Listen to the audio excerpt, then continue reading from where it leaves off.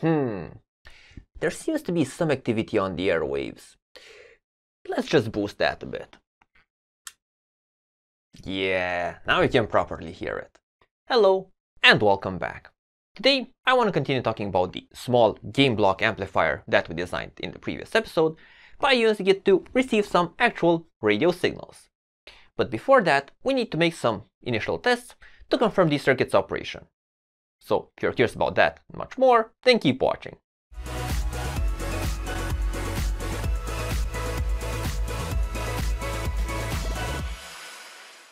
So last time, we looked at the circuit in the simulator. All seemed to be working perfectly. And today, I will be going through the main steps of turning this into a practical device, making a complete schematic and board layout, and finally building and testing it out. So first things first, I took the design from before and added in a few more components. So first off, on the supply side, I added in an LED just to highlight that the circuit is supplied. So this is completely optional of course, but it is a good indicator that you might find useful. Then I also added in an extra ferrite bead just to better isolate the signal lines from the amplifier supply, and while I sprinkled in a few extra decoupling capacitors. Now in the amplifier circuit itself, I left room for some extra components, so for example the high frequency gain can be limited by using this collector based capacitor, and while the signal gain can be further controlled and reduced with this emitter resistor.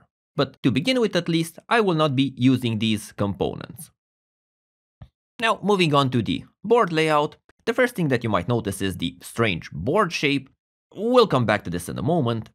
But other than this though, everything is placed on a single side, so the second layer is a complete ground layer, and while for the components, the RF bit, so the components around the main transistor, are packed as tightly as possible, with the traces being as short as was possible.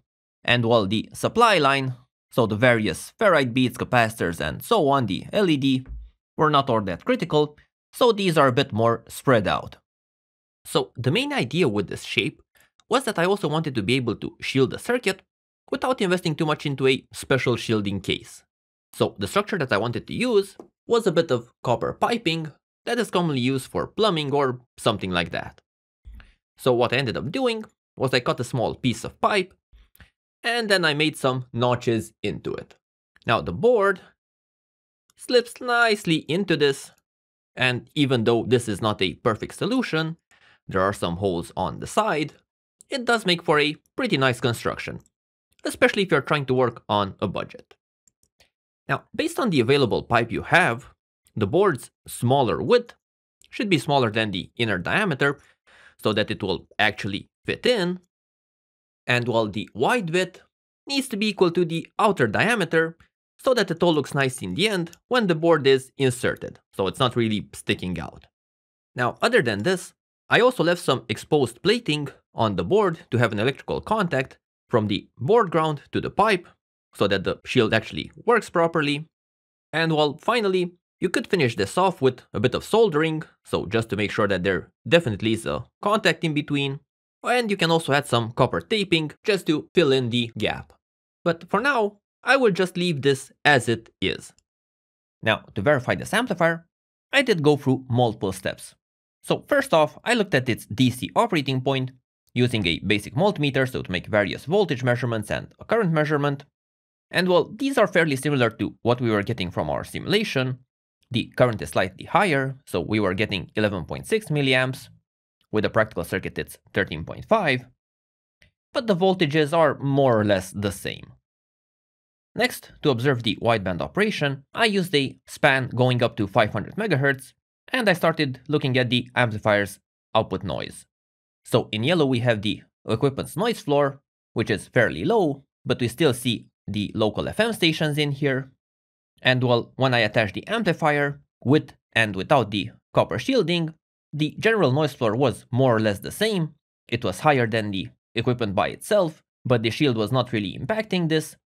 However, in the region of the FM stations, there we did get a very clear difference, with the unshielded version, we were getting far more noise. So the shield did make a difference in this area. For the next experiments, I used a LiteVNA to perform the measurements.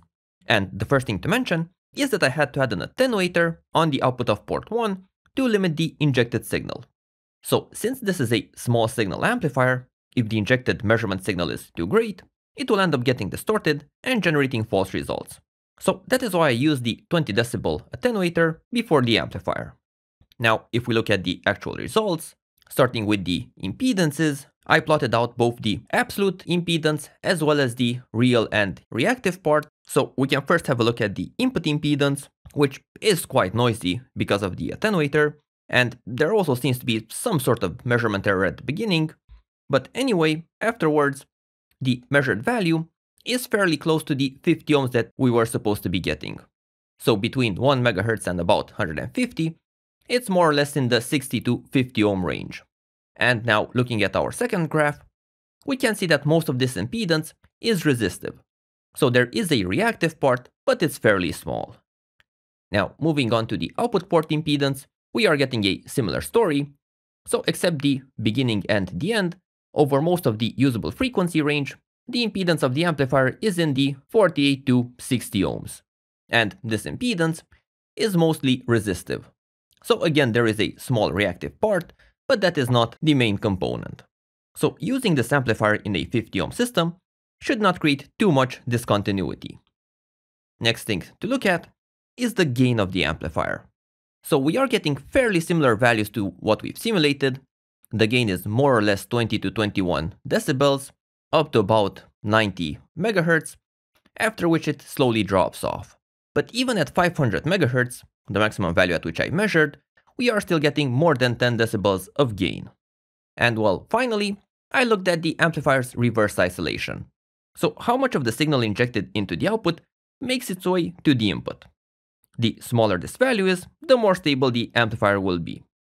And well here, we can see that we are getting a value of about minus 26, 27 decibels, again up until about 91 megahertz, after which the reverse isolation increases a bit.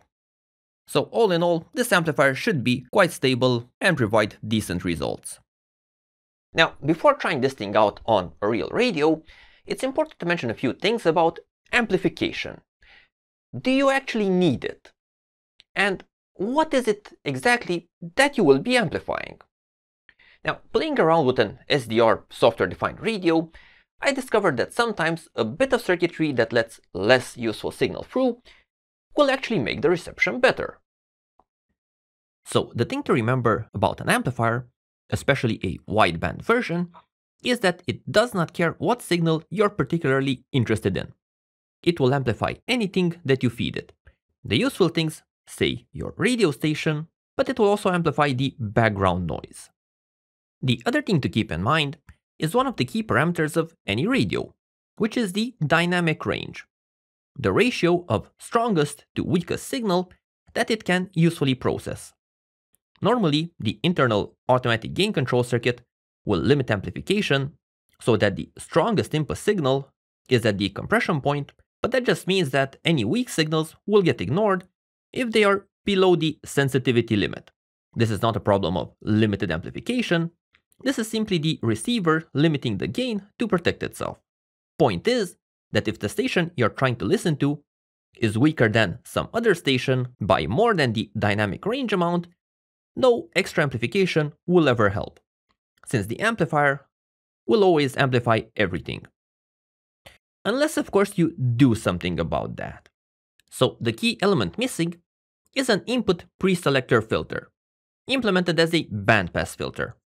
The idea with this is that it will isolate a limited frequency range that contains the signal of interest, say this one, and then this way, the dynamic range is pushed down, and hopefully will now contain the signal of interest. If the signal is still too weak, then an extra amplification does make sense, since now the radio will clearly detect the useful signal, which previously was swamped out by the very strong neighboring ones. Now, the input bandwidth of a radio is characterized by its selectivity. Ideally, you want to very tightly limit the input range to just the signal of interest so that the input stage is not overdriven by strong neighboring stations.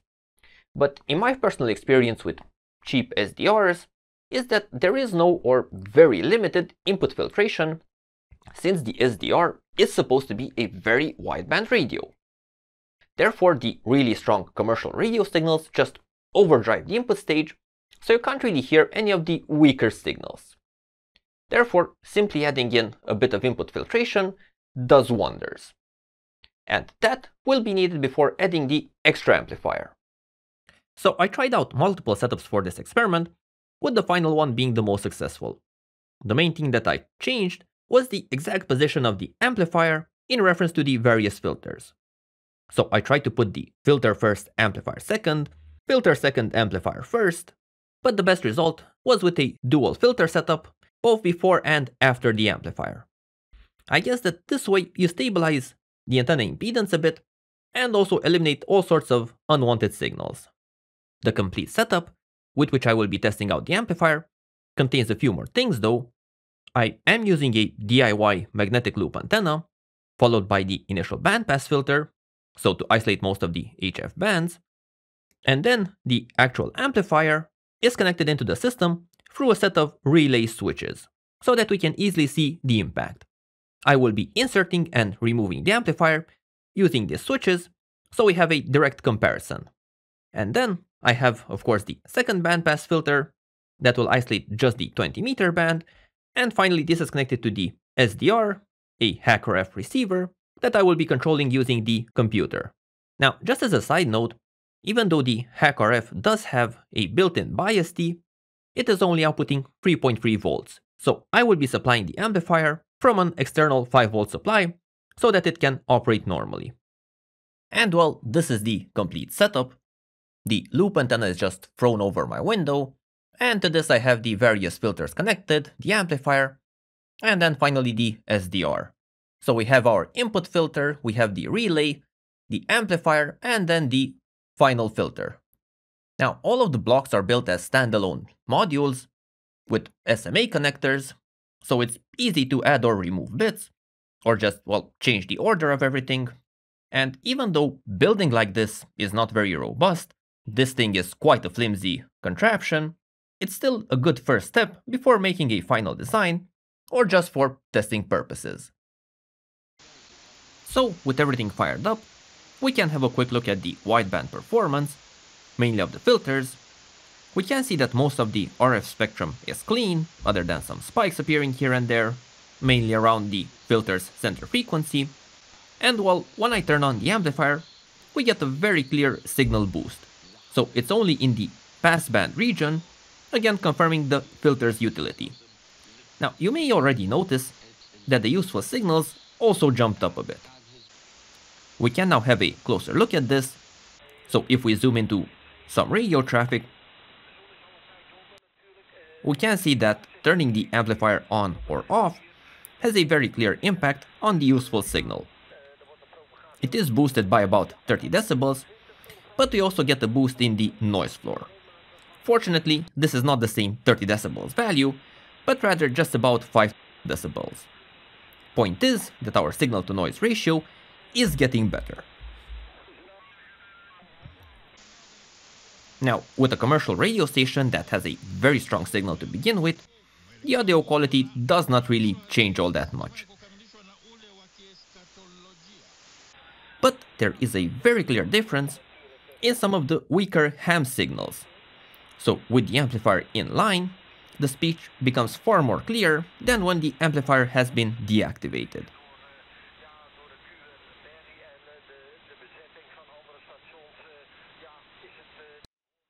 So even though the amplifier I built isn't perfect, it is usable. With it, I was able to improve my radio's reception and make some of the weaker signals a bit more clear. Now, even though building amplifiers from discrete components will work, and you can get some specific benefits like improved noise or very exact parameters, building with integrated circuit gain blocks will usually create less headaches.